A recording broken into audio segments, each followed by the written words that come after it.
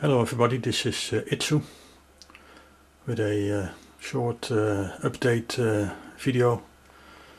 I was working uh, closely together with, uh, with Verpies, getting my uh, main oscillator going. I had a lot of problems with a lot of spikes with the, on the MOSFET's drain, spikes up till 350 volts.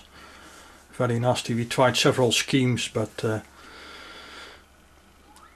the solution was with his latest design,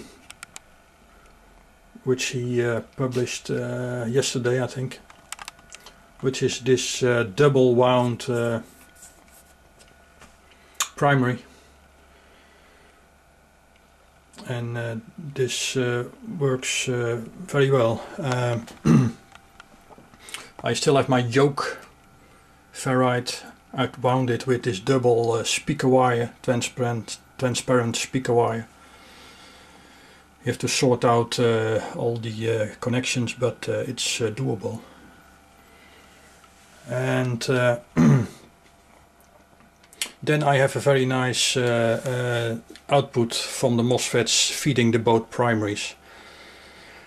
Um, this has led me to uh, an output on the secondaries because I have uh, 20 turns both primaries and I have 200 turns uh, secondaries. I have about uh, 800 volt square wave now on the uh, on the both secondaries, but uh, that can be maintained later to be decreased somehow.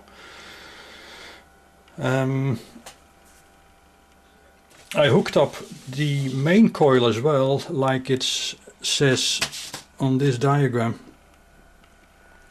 So the both secondaries, one side goes to a, uh, bridge rectifier and to some Elcos to get the 150 volts or 200 volts and the other one goes uh, to ground and the other one goes to the L1 coil which together with the L2 coil in resonance will make a nice sine wave hopefully.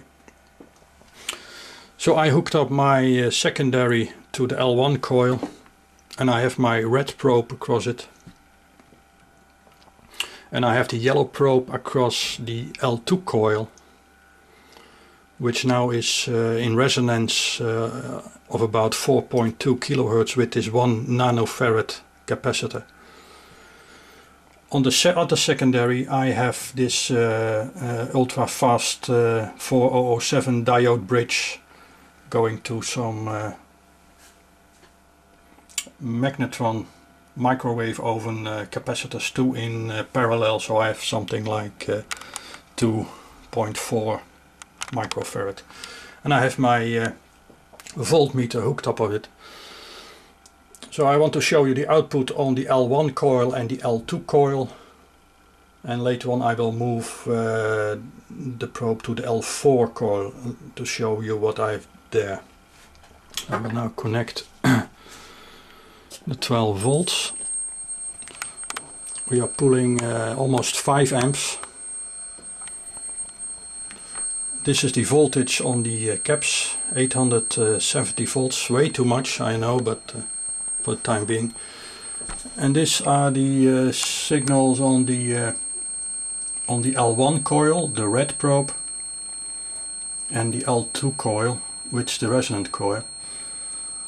So I have here 350 volts and the frequency you can see is 4.2. You can hear the squealing of the uh, transformer.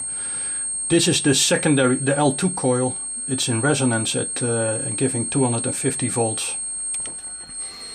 I can tune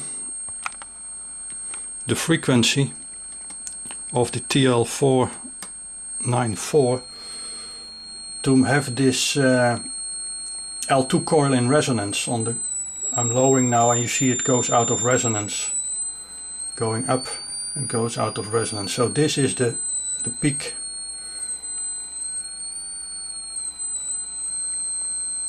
on this 4.2 kilohertz where it resonates the L2 coil. Perhaps I need to increase it So I have to take another value, perhaps 800 nanofarad or something, but that's the way things are working now. Um, the next thing I will uh, take a look at is the uh, output on the uh, L4 coil. L4 coil is grounded together with the L1 coil at one side, like it's here. So I'll take some measurement on the L4 coil now. Okay, the yellow probe is on the uh, L4 coil and on the ground side here. So I will now connect the uh, 12 volts again. You can see I still have the uh, L1 coil at uh, 350 volts. The L4 coil is less voltage. I have to crank it up a little bit and you can see it's uh, 42 volts at the same frequency.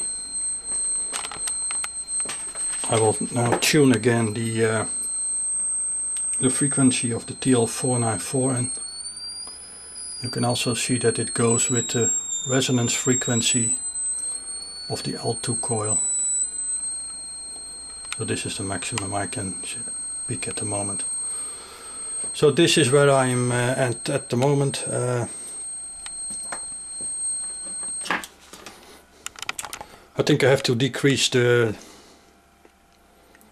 the, the voltage on the secondary because the 800 volt is way too much and uh, that will have some influence also on the uh, output of the L4 coil I'm sure. And the next thing will be to pulse uh, the coaxial cable, but that will be in uh, the next topic. Okay, thank you for watching. Okay, finally what did I do? Um, I also hooked up my uh, flyback uh, via a spark gap to uh, the coaxial cable to mimic the uh, pulses, pulses, the nano pulses. Don't think that will be nano pulses, but uh, to mimic some what happens when uh, I pulse the coaxial cable. I can vary the the flyback with my function generator. We are at 63 kilohertz at the moment. And I'm measuring on the yellow probe, with the yellow probe, the L4, the output coil. So we are peaking now at uh, the sine wave uh, 102 volts. Well, it's 52 I guess, but uh, I have some nasty spikes there going by.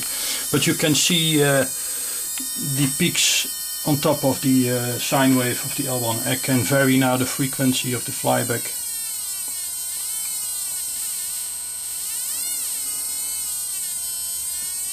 And somewhere there there should be perhaps a frequency with combined with the other frequencies. Does some magic but uh,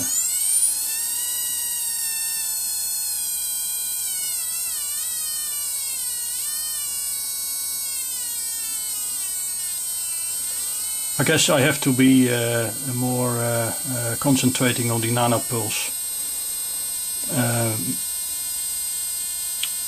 circuit.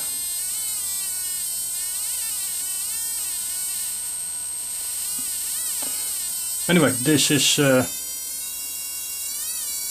what's happening when you pulse with high voltage in a from a flyback. This uh, this complete uh, L4 coil. Okay, thank you for watching.